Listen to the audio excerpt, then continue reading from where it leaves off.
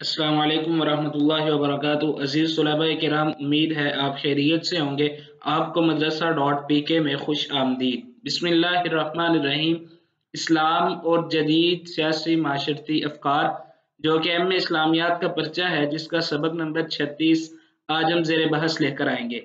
आज के सबक का अनवान होगा जदीद माशरती अफकार। आज के सबक शुरू करने से कबल गुजशत सबक का खुलासा दोहरा लेते हैं। और ये जान लेते हैं कि गुजशत सबक में हमने कौन सी चीज़ें सीखने की और समझने की कोशिश की। गुजशत सबक में हमने इश्तराकियत, यानी सोशलिज्म, जिसे कम्युनिज्म भी कहा जाता है, इसके मुतलिक चंद एक चीज़ें जानने की और सीखने की कोशिश की। गुजशत सबक में हमने इश्तराकियत, यानी सोशलिज्म के बारे में, इसकी खसूसियात जानने की कोशिश की। उसके बाद फिर सोशलिज्म की नकायस जो हैं, जो नुकसान हैं, जो खराबियाँ हैं, वो जानने की कोशिश की। और तीसरे नंबर पर फिर हमने इस्लाम और इश्तराकियत, यानी सोशलिज्म में फ़र्क क्या है, वो समझने की कोशिश की। और इस्लामी हुकूमत की बुनियाद, या जो इस्लाम का नज़रिया है, उसको जानने की कोशिश की। आज के सबक में जो चीज़ें हम पढ़ेंगे, उसका उनवान होगा इस्लाम और जदीद माशरती अफकार। मजदूर मजदुलबा कराम, जैसा कि आपने गुज्त इसबाक को पढ़ लिया होगा, देख लिया होगा उन इसबाब में हमने जो इस्लाम के और जदीद सियासी अफकार हैं, उनको कवर करने की कोशिश की, उनको सीखने की और जानने की कोशिश की। आज के सबक से आगे जो है, हम इस्लाम और जदीद माशरती अफकार जो हैं, उनके बारे में जानने की कोशिश करेंगे। आज का हमारा जो सबक होगा, ये जदीद माशरती अफकार पे पहला सबक होगा। तो आज के सबक में हम सबसे पहले जो माशरती अफकार हैं, इनका माना और मफहूम जानने की कोशिश करेंगे। दूसरे नंबर पर, इनका आगाज़ कब हुआ और इरतका कैसे हुआ, ये जानने की कोशिश करेंगे। और फिर आखिर पे हम इमरानियात, यानी जो माशरत है, जिसे अरबी में इमरानियात भी कहा जाता है, इसका दीगर मजामी के साथ ताल्लुक क्या है, वो समझने की कोशिश करेंगे। कराम, बात अगर हम माना और मफहूम की करें तो माशरत से मुराद इंसान की आबादी, समाज, रहन, सहन, मुआशरा या जिस ताल्लुक के साथ इंसान दुनिया में बस रहा है, ये जो मुआशरा है, ये सारे का सारा इसके माना और मफहूम में आ जाता है। इंसान जहाँ पे भी रहता है, जिस इलाके में भी रहता है तो इंसान का एक ताल्लुक होता है, रहन सहन होता है, कुछ कदरें होती हैं, पहचान होती है इंसान की। वो जो आबादी है, मुआशरा है, रहन सहन है, ये जो सारा बहस आती है, ये मुआशरत के जेर बहस आती है। मुआशरत जो है, इसके लिए उर्दू में इमरानियात की इस्तेला, इस्तेमाल की जाती है।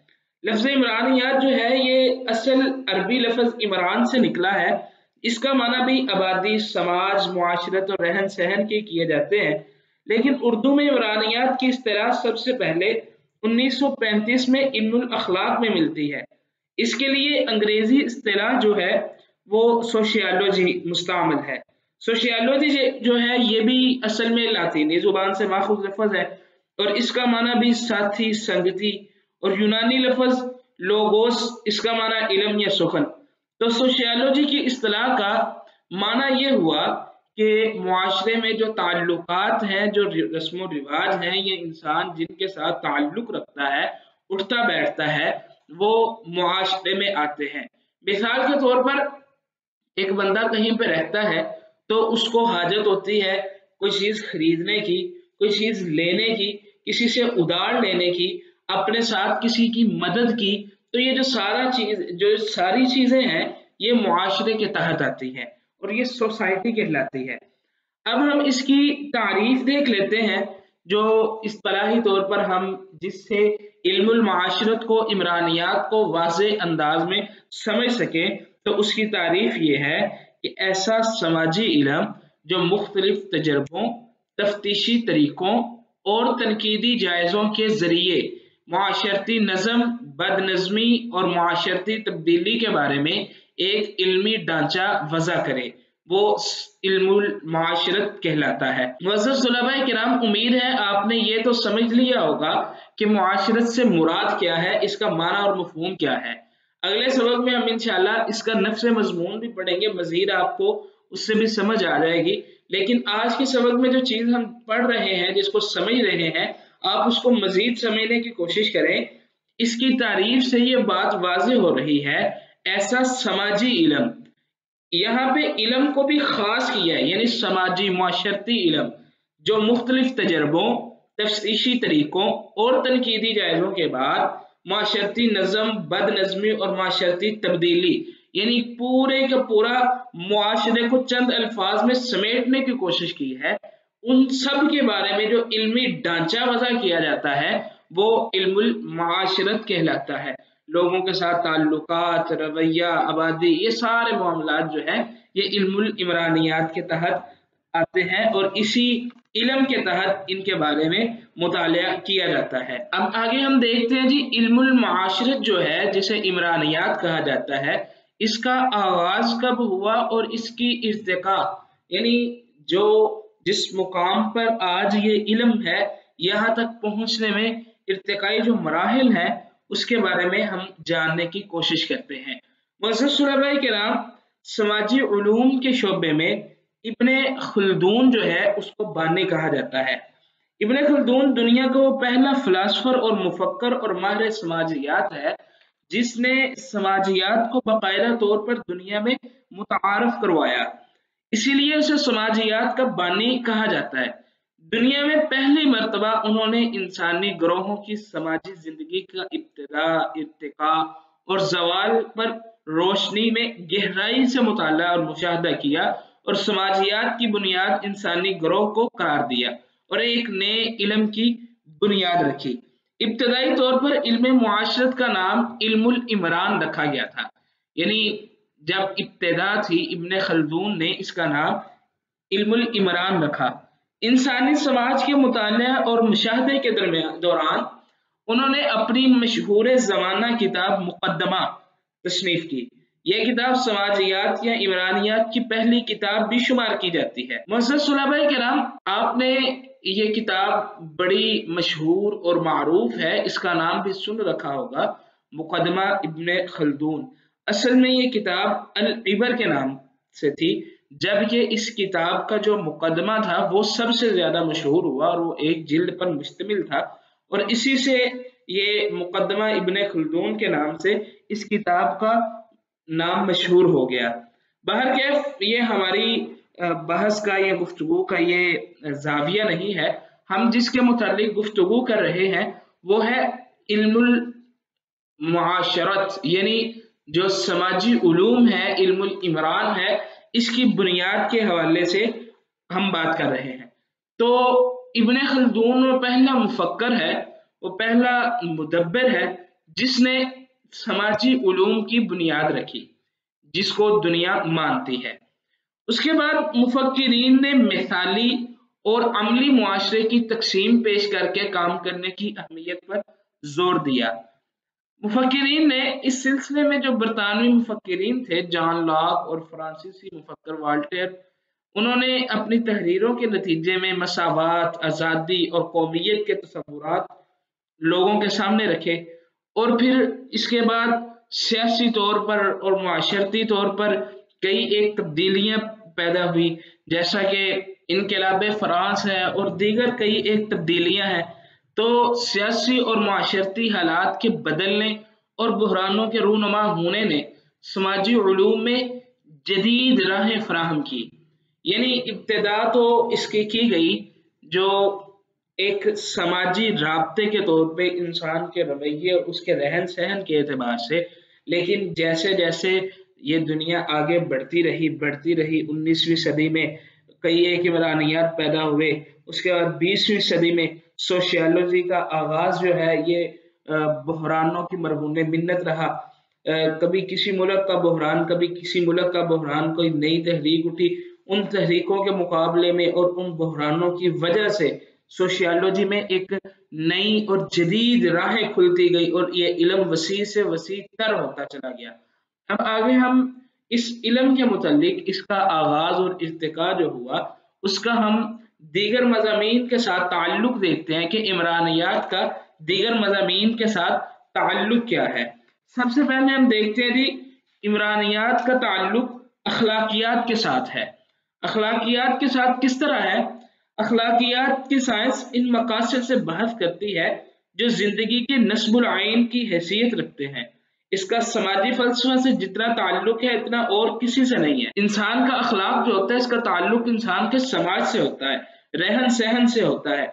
इंसान दूसरों के साथ गुफ्तगु किस तरह करता है? इंसान दूसरों के साथ पेश किस अंदाज से आता है, किस अखलाक से आता है? ये सारी चीज़ें, ये क्योंकि एक माशरती रवैया है तो इसका ताल्लुक इमरानियात के साथ है।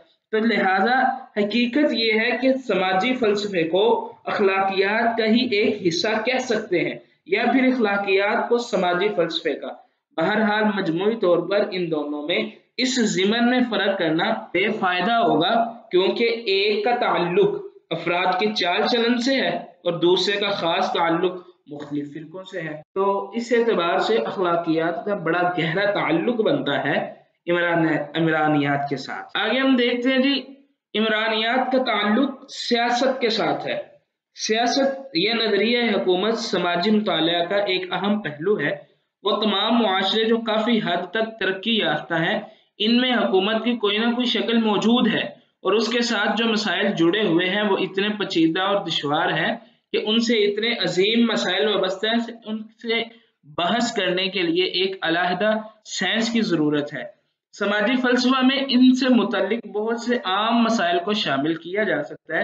बुनियादी उसूलों से समाजी फलसफा बहस करता है। इन सब में से अहम अदल का मसाला और ये कानून से करीबी तौर पर जुड़ा हुआ है। इसी तरह सनत और तजारत का इंसानी सोसाइटी की सरगर्मियों में इतना बड़ा हिस्सा है कि किसी भी फलसफा में इनके मुकाम पर खास एहतियात के साथ गौर करना ज़रूरी है।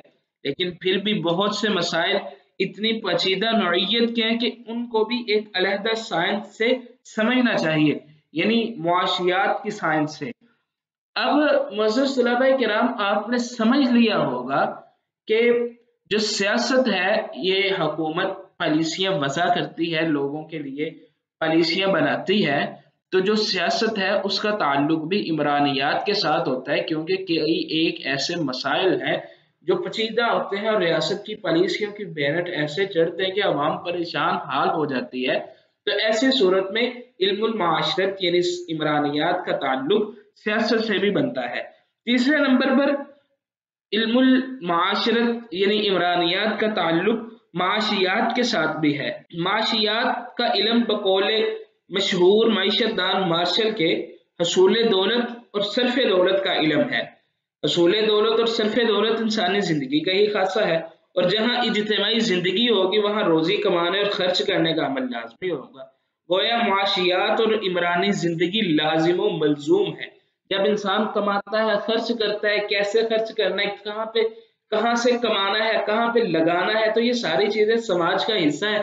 तो इस एतबार से इमरानियात के ज़िमन में मुआशियात का हिस्सा भी आ जाता है। चौथे नंबर पर शहरियत। इल्म इमरानियात का ताल्लुक माशरती ज़िंदगी के तमाम पहलुओं से है। यानी इस इलम में इंसानी ज़िंदगी के तमाम पहलू जेर बहस आते हैं, जबकि इल्म शहरीत जो है, शहरी ज़िंदगी और इसके मुतल मसाइल का मुताल करता है। चूँकि शहरी ज़िंदगी माशरती ज़िंदगी का एक हिस्सा है तो इस एतबार से मुआरे में ज़िंदगी बसर करते हुए ख़ानदान, बरदरी, कबाइल वगैरह से जो ताल्लुक इस्तेवार करने पड़ते हैं तो ये सारे इल्माशरत के तहत इमरानियात के ज़िमन में आते हैं। इसी तरह तारीख के साथ भी इसका ताल्लुक है।